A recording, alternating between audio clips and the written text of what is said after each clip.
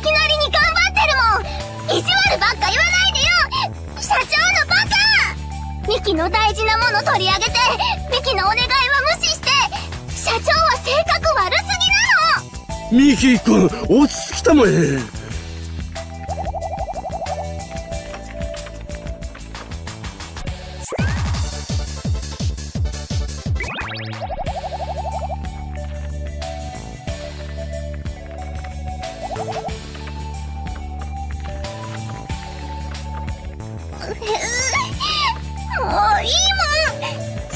なんかこんな事務所なんか知らない。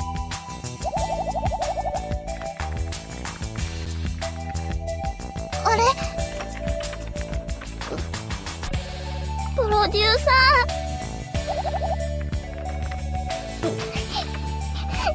ミキはミキは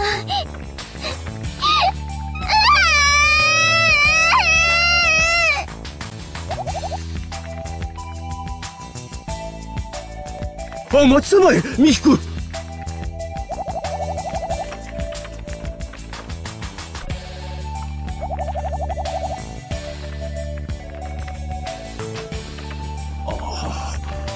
見失ってしまった。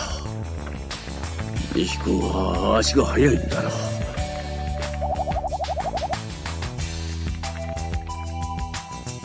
おお君いたのかね。おおそういえばさっき何かにぶつかったかなと思ったんだが。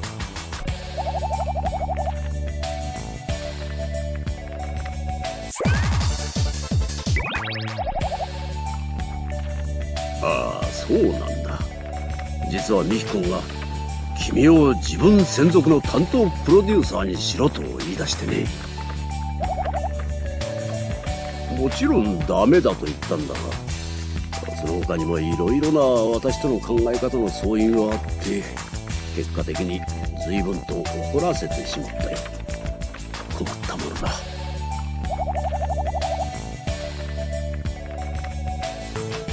いや追いかけたのだが逃げられてしまってね。電話にも出てくれないし。だがそのうち戻ってくるだろう。何にせよ君が気にするようなことではないよ。この機会にミキ君がいろいろ考えて少しは大人に成長してくれればいいんだがまあ君は君の担当アイドルのプロデュースに全力を尽くしてくれたまえではまた後で。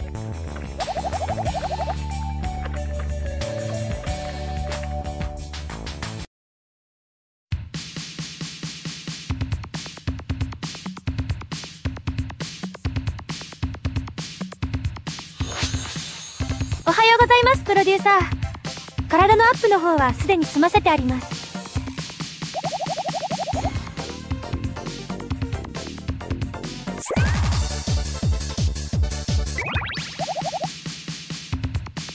はい。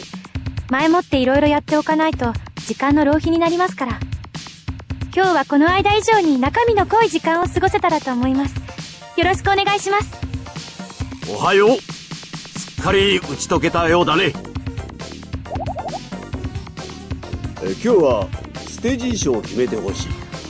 その後営業を行うといいだろう。うん。ステージ衣装の決定は大切だよ。衣装によりイメージは左右されるのだ。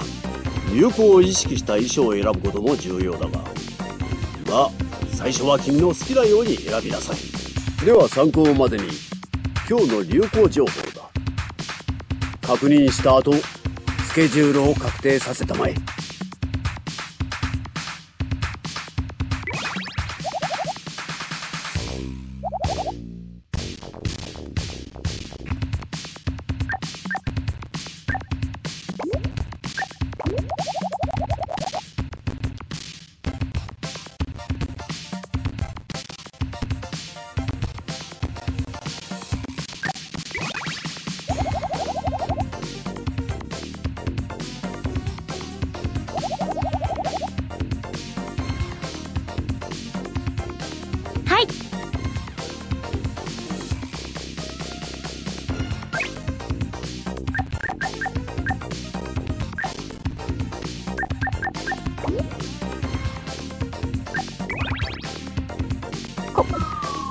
な衣装で歌えと言うんですか？確かに動きやすそうなのは認めますが。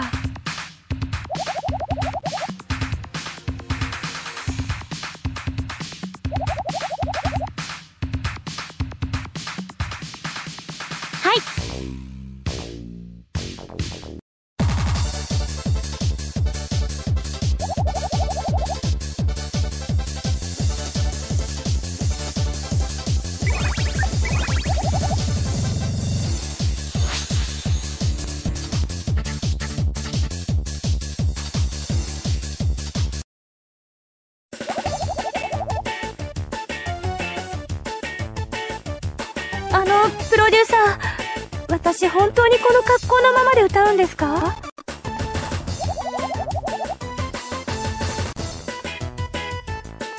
待ってください。私とてもできません。こんなおかしな姿をスタッフに晒しながら歌うなんて恥ずかしすぎます。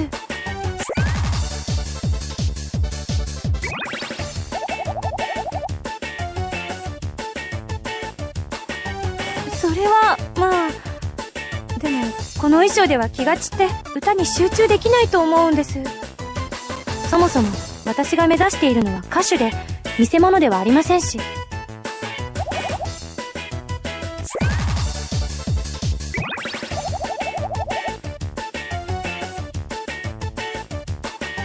言っていることはその通りだと思います。けどいきなりでこの衣装は辛すぎます。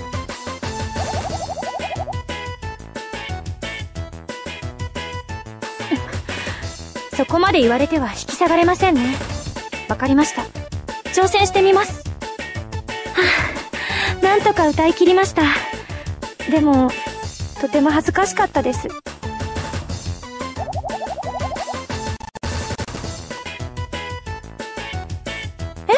プロデューサー、そ、そこまでしてもらっては。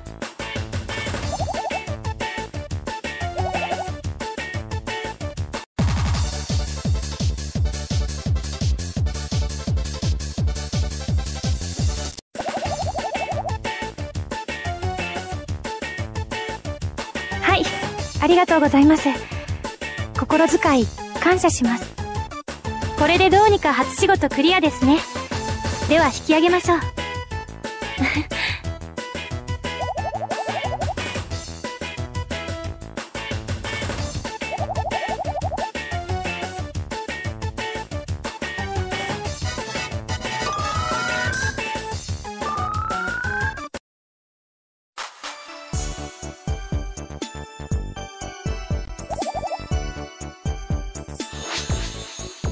目ご苦労だったね。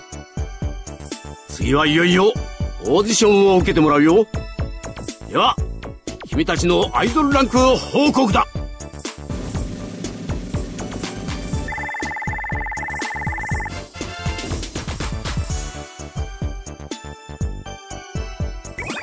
うん。今後も出会った人たちにファンになってもらえるよう活動しなさい。しかし、レッスンばかりではファンはほとんど増えることはない。オーディションに合格することは、ファンを一気に増やす唯一の方法だ。次回のオーディションが楽しみだな。今日はスタジオまで付き添ってくれてありがとうございました。助かりました。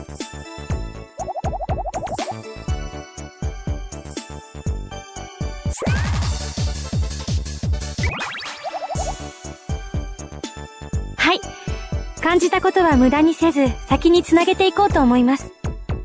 それではまた次に、指導を楽しみにしています。